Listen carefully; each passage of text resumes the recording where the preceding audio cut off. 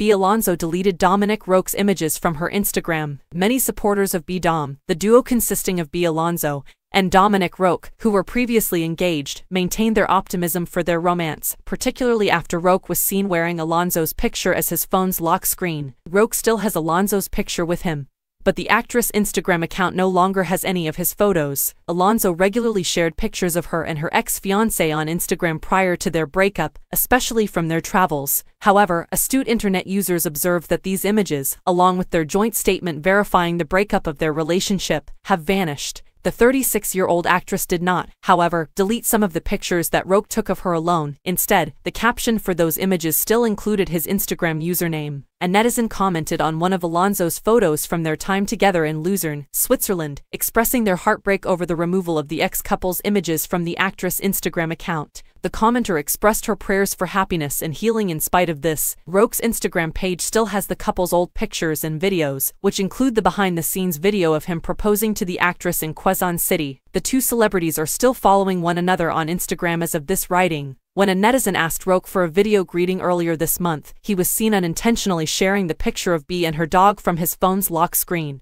With his phone in one hand and the netizens in the other, the actor was holding both phones. He was filming himself when he lifted his right hand and unintentionally caused his lock screen to flash. The image of her and her dog Walter that Alonzo shared on social media in June 2023 served as his lock screen. On their individual Instagram pages, Alonzo and Roque shared their March photo dump, which fans also noticed. On April 2nd, Alonzo published her March dump, and on April 3rd, Roque did the same. The ex-couple has not responded to reports of a reconciliation, despite some hoping for a second chance for their union. Alonzo revealed that she and Roque were dating in 2021 after years of friendship. After that, in July 2023, they got engaged, but they later announced in February 2024 that they had mutually called off their engagement. Although they did not give a reason, they did state that it was not an easy decision to make.